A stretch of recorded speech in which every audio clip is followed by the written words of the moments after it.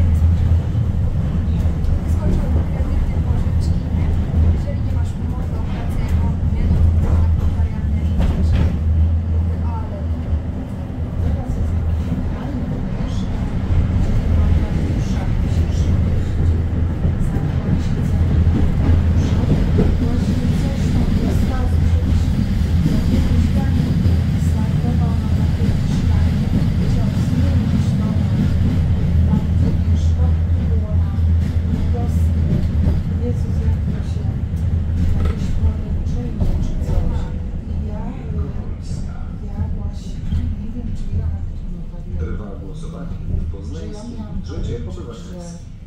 Zagłosuj na stronie Pani wraca do mnie na takiej zasadzie. Teraz jednego dnia na Facebooku. Mama nie polubiła. Tak, to ja widziałam Mama nie polubiła. Sąsiadka. Tak, i ja mówię, ty, ja ją znam ja z nią chodziłam cały marzec na rehabilitację, tak się bardzo sympatyczna, ciepła pani, samotna, dwie córki za granicą siedzą. Jeździłam z nią na Grochowską, bo ona na Grochowskiej mieszkała i mówiła mi, że w tych blokach zapraszamy na herbatkę, ale ja mówię pod Bogiem, ja nie chcę, bo jak się to pokaże, że to ten sam blok co Jesia i Shakiry, no to ona nas mhm. połączy i będzie koniec. Mhm. I mówię, nie, nie. I dzwonię do niego i mówię, hej,